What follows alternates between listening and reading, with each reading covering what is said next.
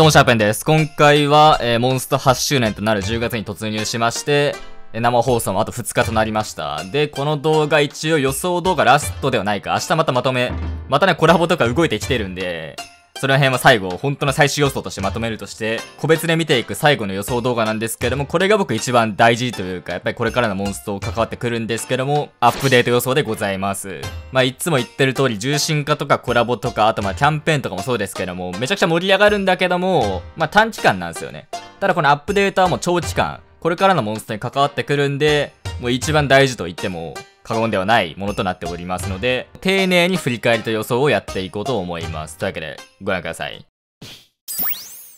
で、まず歴代の周年アップデートで結構大きかったものを抜粋して紹介していきます。まずは2周年、重心化が登場と、まあ昔のキャラクターの救済システムとなって、もうこれがもう約6年間経過した今でも主力のコンテンツすごいですよね。まあ、未だに盛り上がるものとなってますし、そろそろまあ来年頃には重心化、既存キャラクターのやつ終わるんですけども、最後まで主力でいそうです。覇者の塔が登場。まあ実装当初はもう難易度はめちゃくちゃ高いんですけども、その代わりの報酬も豪華で、オーブをいっぱいもらいましたし、頑張ってクリアする価値はありましたね。3周年、ノーマルクエストがリニューアル。まあ、これで報酬でサンクチュアリドラゴン登場しまして、まあ、新規の参入がしやすくなった。もう最初から運極ですからね。僕3周年頃から始めたんですけども、まあ、サンドラからダークドラゴンのつなぎはすごい助かりましたね。4周年、魂の紋章が登場。まあ、これはその、ソロとマルチの格差が広がるとか、あとは今期の需要と供給が未だに合ってないってとこもあって、まあ、批判的意見もちらほらあった存在ですね。4周年はこれとか、まあ、エヴァンゲリオンコラボの件もあって、まあ、歴代で見てもトップクラスの大割れをしてしまったと。まあ、ただそれに隠れて、追憶の書庫に初クリア報酬が登場と。まあ、これによって努力したら入手できるオーブってのが一気に増えた。300個ぐらいあったらしいですね、この頃は。これは評価されるべきだと思う。5周年。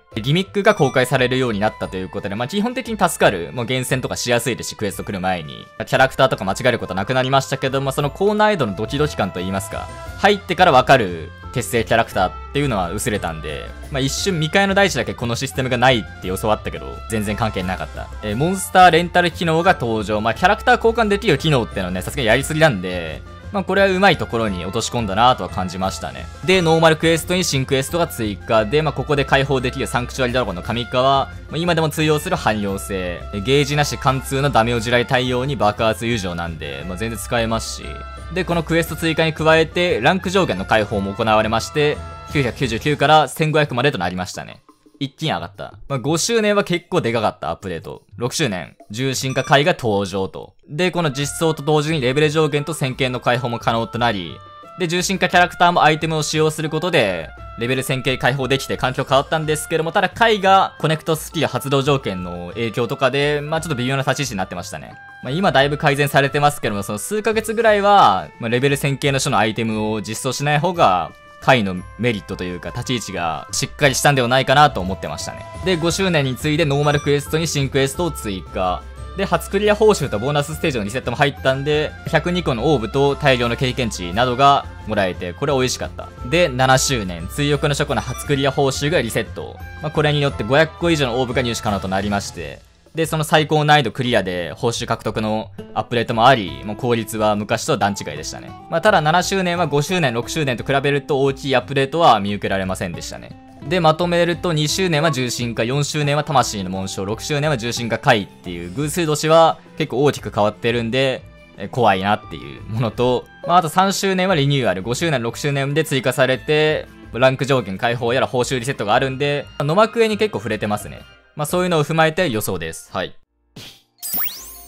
で、まず最初は野幕クですかね。約2年ほど野幕クに大きな動きがない。で、しかも今年に入ってはぐれメタルで、ユーザー全体のランクが上がってると思われるんで、もう乾燥したって人もツイッター増えてきてますし、まあ一回去年明けて今年で追加、で報酬リセット、で上限解放、どこまで行くんですかね ?3000 まで行くんかなまあ999から1500なんてね、まあ2000の方がありえそうですけど、まあこのタイミングとしてはバッチリだと思います。で、あとサンクチュアリドラゴン重心化。まあここもそろそろしてもいい頃合いだと思いますね。まあ変わらず範囲能面伸ばして、ゲージなし4アビとか、まあ最近限定キャラ並みですけども、浴びたいよだけは本当に。もう対応してるだけでいいんで、もう汎用性の鬼になってほしい。で、アップデートといったら英雄の神殿。まあ結構フラッパで大きく変わる印象あるんですけども、今年は全くもって、全く、ちょっとあったかもしれないですけども、大きな動きはなくて、でも去年は一応選べレベル2.5倍と乱入金額定ぐらいですけども、まあこれぐらいでもいいんですよ。ちょっとずつ治っていくのがなんかいいんで、もう周回数も多いですし、わずかなことでも修正されたらモチベーション上がる。まあざっといつも言ってるのこんな感じで、ワクワクの実保管庫言われてますよね。まあ、捨てちゃうのもったいないから一回この保管庫に入れて、まあ、違うキャラクターにつけることできるっていう、ちょっとワクワク設計の需要は減るかもしれないですけども、まあ画期的なものですし、で、あと、金種の複数ドロップもないんで、まあ、マルチプレイの時のボス、あの、直ドロクエストみたいに落ちたり、まあ、あとワクリンからもこの背負ってるやつを落としてほしいなってことで複数ドロップしたりって感じで、この楽しみもあったら面白いですし、まあ、ほんとどんな些細なことでもいいんであったら嬉しい。で、次が守護獣の森。もうほんと何の問題がないかのように、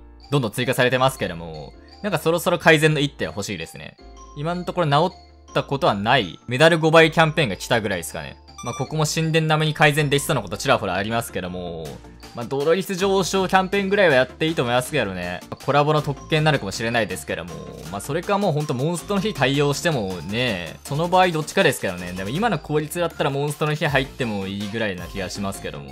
まあ、あとは今の入手量、まあ、1体から400っていう、それで完結できないんで、まあ、ここも500にしていいんじゃないか。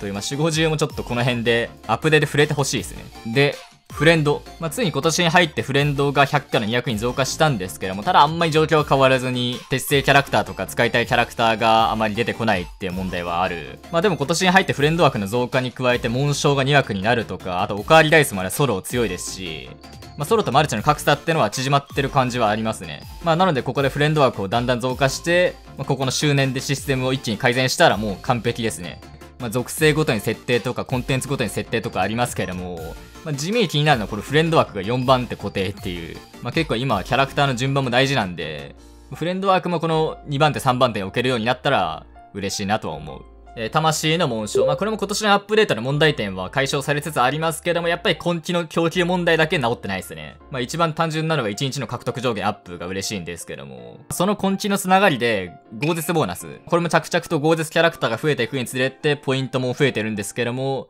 まあ、ただ多数上限解放に使うかっていうとあんまりそれ旨味ないですし、使いまくれるほどではないんで、ほとんどの人がポイント余らしてるんじゃないかっていう状況な気がしますね。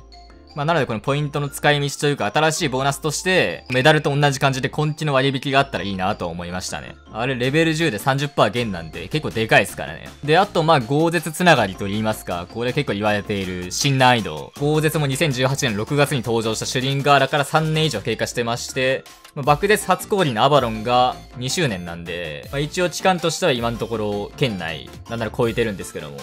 で、あと先日公式に豪絶 PV 総集編みたいな、もう今いる豪絶キャラクター全員集合の PV が上がったんで、完全に一区切りがついてますね。こっから豪絶第2章に入るのか、それでも新しい難易度に突入していくのか、気になるところですけども。まあ、流れ的には超絶、爆絶、豪絶って言ってるんで、なんとか絶っていう名称で、まあ、進化形態が、超絶が進化、爆絶が神化、で、豪絶が重心化なんで、当てはまるんですよね。重心が回。で、その発動条件めんどくさそうだと思いきや、ラック100以上があったら解決できるんで、まあ、至極真っ当ですし、ラック、運曲作ったらスキル、条件気にしなくても良くなるっていう。まあ、タイミングとしてはここはありえますね。で、あとまたこの流れで重心が回。まあ、最近でも回強いですよね。性能面で言ったら順当な強化多くて、まあ、あとはもう回そのものの仕様に不満があるかなって程度だと思うんですけども、たまに見るのがもう発動条件撤廃しようって意見ありますからね。ただはさすがにライズ3の域に達してると思うんで、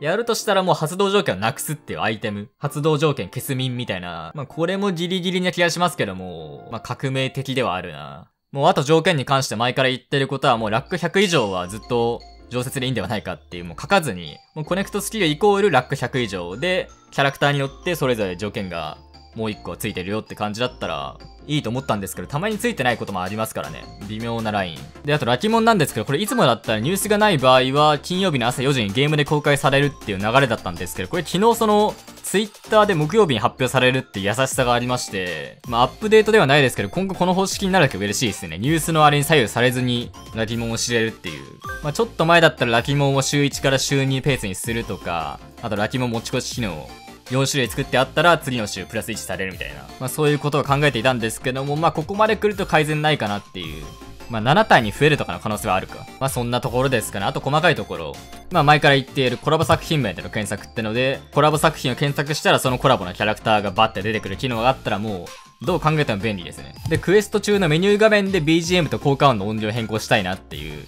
まあ、曲聴きたい時とか、あとコラボキャラクターの SS の演出をちょっと僕、撮りたいなって時に使いたい。で、亀ステージのメリットがなさすぎるというか、今のところもう時間かかるっていうのはデメリットなんですけども、もうこれランク上限解放と一緒に、ハグメダ並みの経験値になったらいいなっていう。まあ、そんなに出現する確率も高くないんで、まあ、だったらそれぐらいのメリットはあってもいいかなと思う。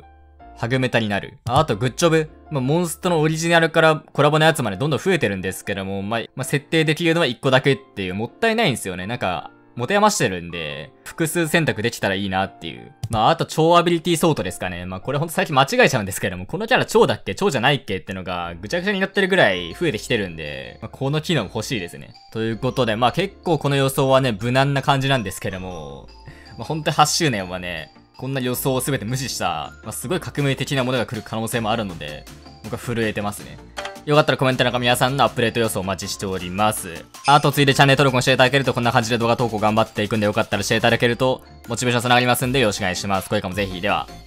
聴ありがとうございました。ノーマルさよなら。